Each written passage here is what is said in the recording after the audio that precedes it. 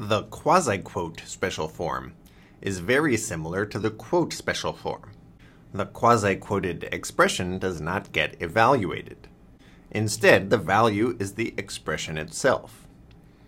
But what's special about quasi-quotation is that parts of that expression can be evaluated. Let me show you what I mean. Suppose we define b to be 2, and then quote a, B, C. The fact that B is 2 doesn't matter. We're just writing down a list of symbols A, B, C. The same is true when I quasi-quote. That's a different symbol than that. This is the normal quotation. This is quasi-quotation. When I write A, B, C quasi-quoted, I get exactly the same result. But the power of quasi-quoting is that I can choose to selectively unquote certain parts of the expression that I've quoted.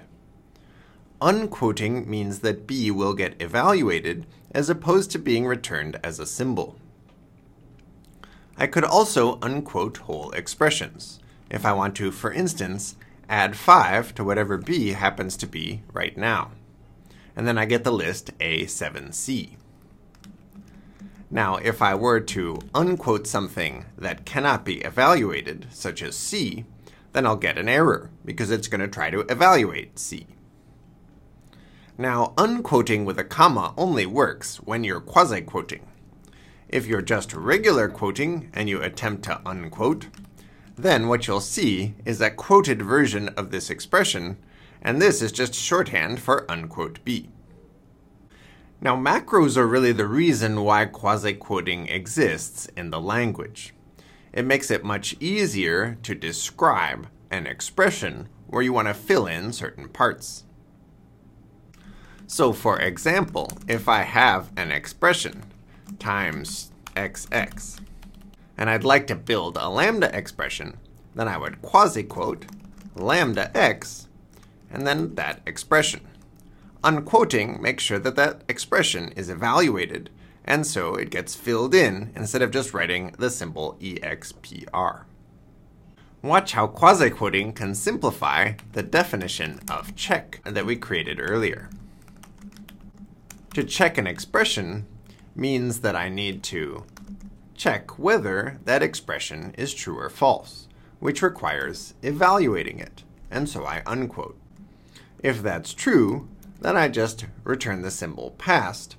If it's false, then I return the list, failed, and then the expression itself, which needs to get evaluated. Now this is not going to evaluate to true or false, because it's inside of a quotation. I'll leave both of these here, but when I load the file, this one will overwrite this one. So this is the one we're actually evaluating, if I check whether it's the case that 2 is greater than 0, that passed, but is negative 2 greater than 0? No, that failed. This expression did not return a true value. And I think we can all agree that it's much clearer what this macro does when I use quasi-quoting than when I attempted to construct the same expression using primitives such as list.